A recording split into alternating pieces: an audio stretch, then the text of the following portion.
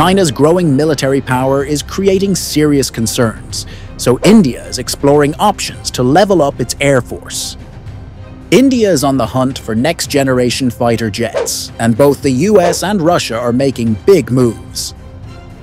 The US has put the F-35 deal on the table, while Russia is offering to build its Su-57 stealth fighter right in India for the Indian Air Force.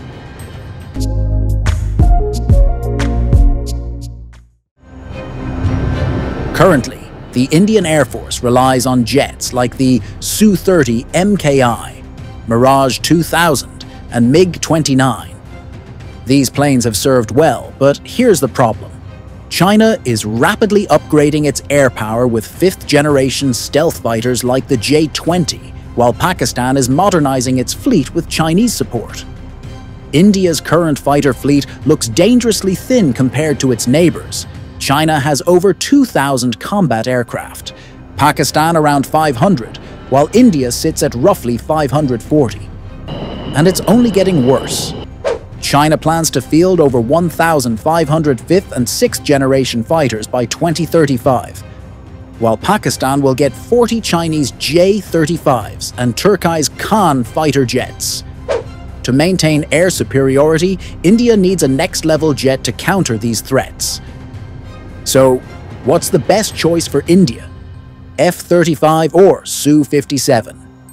The F-35 is the stealth king, nearly invisible to radar, processing real-time battlefield data and excelling in air-to-air -air combat, ground strikes, reconnaissance, and electronic warfare.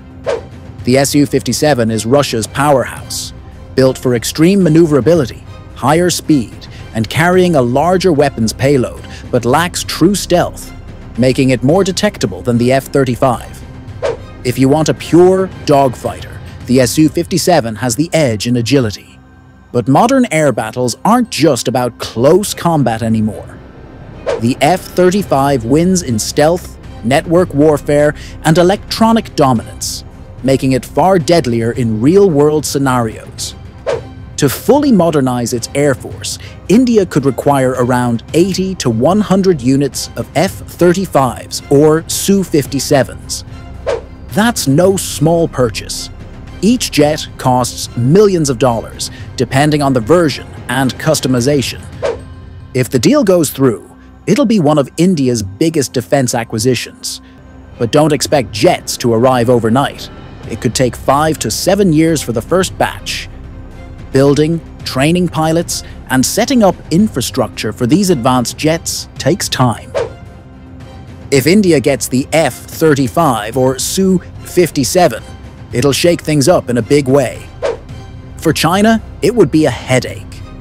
These advanced jets would help India track Chinese movements and counter their growing influence in the region. For Pakistan, it's an even bigger problem. Their current fleet can't match the F-35 or Su-57. Nowhere close. This could push Pakistan even closer to China for advanced fighter jets and air defense systems.